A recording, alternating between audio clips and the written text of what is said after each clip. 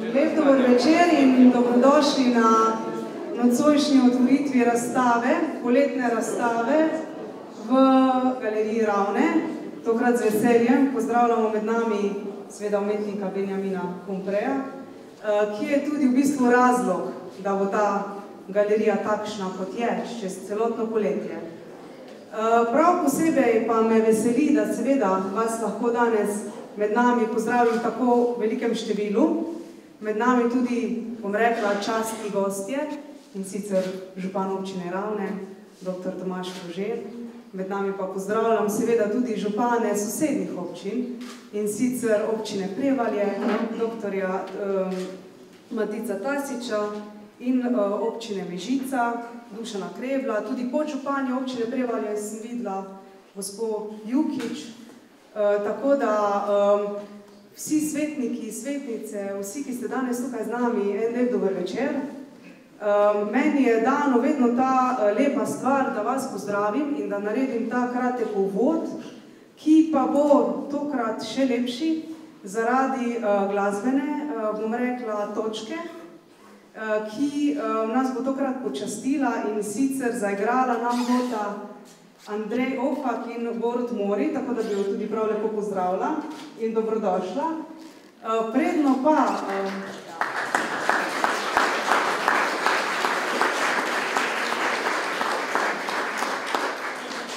Predno pa ima, oziroma damo glasbi besedo in vrnem mikrofon, namreč to smo zdaj zimprovizirali, pa uh, bom napovedala samo še to, da o razstavi bo več povedal kustos Koroške galerije Eh, magistr Jene Požar, ki bo tudi povedal več o samem umetniku, tako da ta težka naloga bo prepuščena njemu. Župan, dr. Tomaž Rožen, pa bo odprl razstavo na koncu. Benjamina bomo še tebe lahko prepričali, da boš kaj povedal. Ni potrebno.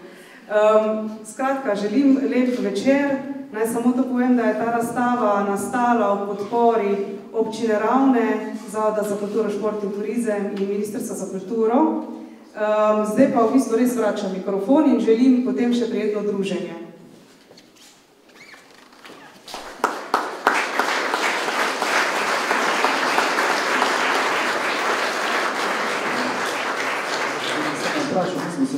da bi mi kar otvorila, pa mogoče bi mi tik pred koncem, pred županom zašpila, ker imamo že tako fajno zvočine, pa vse pa bi lahko več pa ne samo en, dva komada, lahko tri komade, tak mali koncert naredimo danes.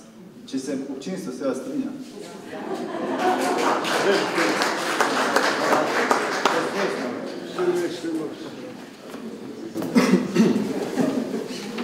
Dobro večer vsem skupaj, eh, spoštovani gostje, eh, spoštovani župan, gospod Tržen, spoštovani župan eh, občine Prevalje, gospod Tasič, podžupanja. Dobro večer vsem skupaj. Lepo pozdravljeni v galeriji Ravne, kjer odpiramo danes razstavo Benjamina Kumpreja, eh, poznanega kroškega slikarja. Eh, po mojega ni treba posebej predstavljati, ne povem le par osnov, morda urejen in živi na Lešah, urejen leta 1952, živi na Lešah nad Prevaljami, eh, na domečiji Pristov, kjer ustvarja in dela še danes. Razstava je nastala kot povod, morda kot uvod eh, v, eh, v monografijo, ki pripravljamo skupaj z, z gospodom Kumprem, z gospodom Kolarjem, eh, ki bo išla predvidoma, upajmo, septembra letos, zato tudi v tej priložnosti nismo potem natisnili nobene, nobenega kataloga. Tako da, Pred nami je razstava ki z naslovom Nostalgija, kot se je, je pojenoval gospod Kumprej. In sicer predstavlja uh, na tej razstavi svoja predvsem najnovejša dela, morda nekatera nastala tudi nekoliko uh, prej. In sicer uh, razstavlja, kot vidite, na tej, na tej steni lahko vidite krajine, po katerih je morda tudi ne, najbolj prepoznaven. Uh, In sicer v teh krajinah se seveda on uh, slika ta pogled, kot ga vidi iz svoje domačije, ne, pristov iz Leš, uh, naslikal je Peco Urštogor Pohorje, ne, z temi silovitimi zamahi in s temi kolorističnimi prijemi. Medtem, ko pa potem na tej strani ne, so pa najnovejša njegova, najnovejša dela nastala letos, leta 2016 in v teh delih lahko vidimo, da se nekako odmika iz tega, iz tega krajinarstva, iz tega krajinskega slikarstva, v katerem je, kot rečeno, najbolj poznan, v katerem se, se, se poskuša že, že desetletja. No? Vendar, zato smo jih postavili potem tudi na to steno, ker se morda na nek način opazi podobnost med temi slikami in temi, objekti, kot bi jih lahko imenovali, oziroma se vlaži, ne? ker so pač podobno, kot je na teh slikah upodobil, se pravi, tla, pokrajino, ne, gore, nebo, so te, so te varne lesnice, ne, kot jih on, se pravi, te lesene deščice, pobarvane, ne, nekako postavljene zaporedoma podobno, kot so te barne pasove na teh slikah. Zato tudi te slike morda visijo na nasprotni steni, tako da si jih lahko potem tudi skupaj ogledate. Zdaj, na tej steni od zadaj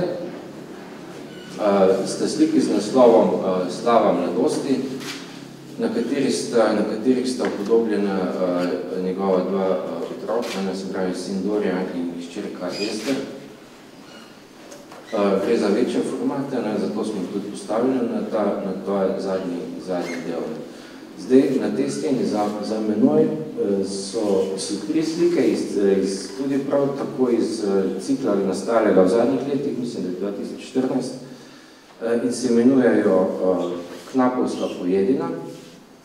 Tukaj so razstavljene tri slike iz, iz celotnega slika petih, na katerih se Benjamin Kumpret spoprema tudi z, z zgodovino svojega kraja, se pravi z Lešami, ne, Kot veste, je na Lešar bil v prejšnjem, pravi, 19. stoletju, ne, rudnik rjavega premoga, ki je s, s premogom seveda z, dobavljal prevaško železarno ne, v tistih časih in to je gre za nek spomin, za, nek, za neko videnje tega, tega svojega domačega kraja. Ne. Potem so tu na, za menoj in na sredini sta še dva kipa, prav tako nastala v teh letih, v zadnjem letu, letos. Z naslovom imenujete se Terra Nostrum in prav tako govorita o tej zgodovini, zgodovini Leš, zgodovini Preval in upodabljate, recimo na njih je ta mejni kamen, ne, potem les, ne, kot seveda les kot gozdovi, kot neka prispodoba teh gozdov, ki obdajajo, obdajajo to njegovo njegovo okolje, katerega on beleži in slika.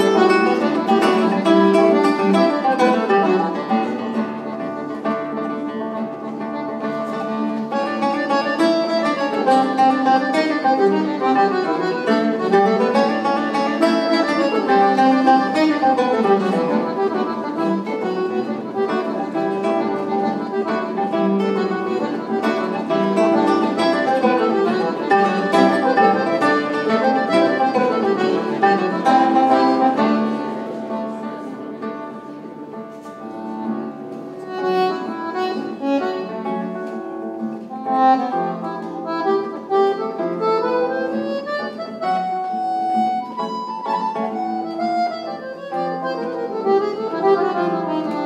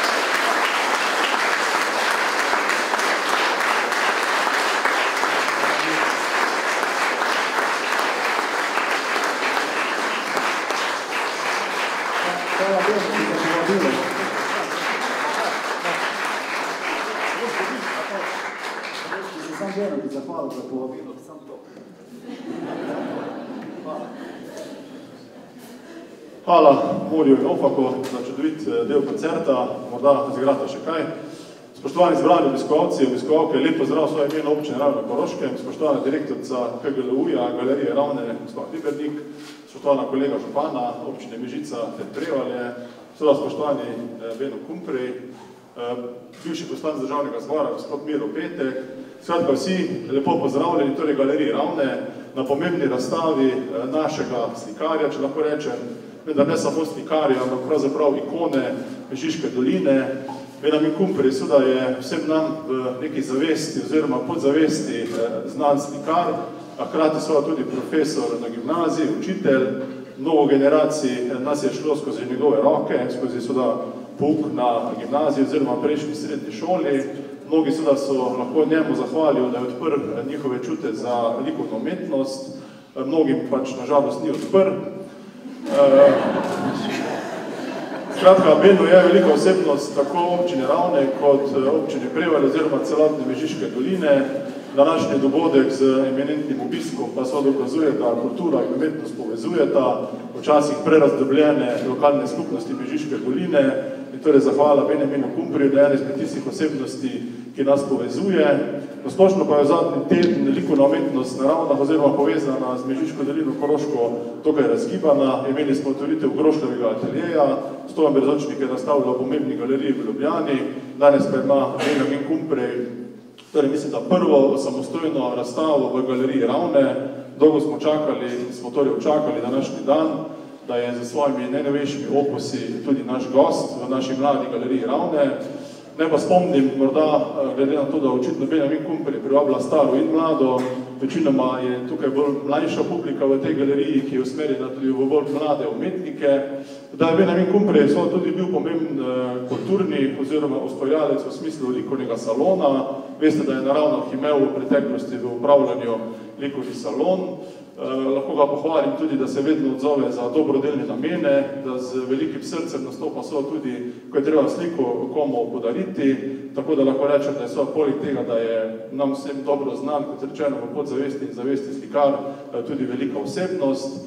Hkrati pa danes vidimo, da njegov ustvarjalni potencial eh, še živi, ima pred sabo čisto nove stvaritve, ki jih vse nekateri prvič vidimo, povezane so tudi z zgodovino, z domoznanstvom naše Mežiške doline, rodarstvo na Lešah, torej mislim, da lahko še marsikaj pričakujemo od Benjamina Kumpreja v prihodne. Torej, Beno, najlepša hvala, da si danes naš gost, da nastavljaš torej v galeriji Ravne in želim ti še veliko dobrega ustvarjanja eh, in širjenja eh, dob, dobrote, umetnosti, ljubezni do likovne umetnosti tudi z ljudmi, s katerimi se družiš, kaj tudi kot vidim, da imaš ogromno prijateljev, s katerimi bomo danes preživeli pričudovit večer. Torej, hvala vsem.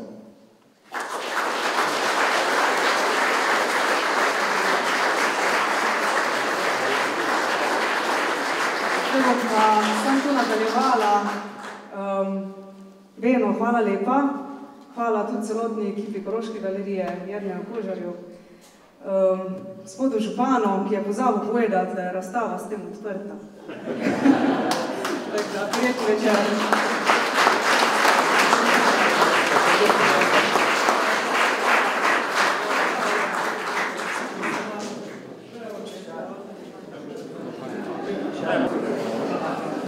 Beno, dragi Beno, v imenu občine Prevalje, hvala za to čudovito razstavo, cenimo tvoj umetniški opus. Jaz sicer nisem šla skozi tvoje roke in me nisi ti navdušil, nisi me ti navdušil za umetnost, ampak bilo je obratno. Jaz sem tebe učila, mislim, da sem ti dala kanček tega, vse ljubezen do dediščine, kulturne in to. Torej, dragi Beno, odkril si nam lepote Koroške s svojimi slikami, veliko je rumene barve, veliko je sonca, čeprav dejansko včasih življenje tudi tebe vedno ni naklonjeno, ampak sonce je v tebi in znaš odkrivati to lepoto Koroške. Hvala ti, ponosni smo, da si ješanar, da si prevačan, da si korošč, ponosni smo, da si naš. Hvala.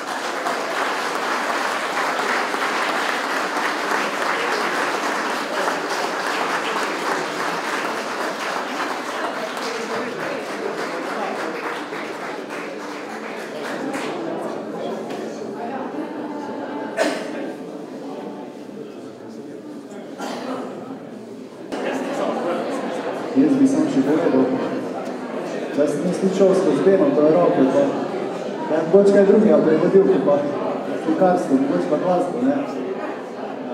Hvala še enkrat za povabilo, pa kaj je za tebe.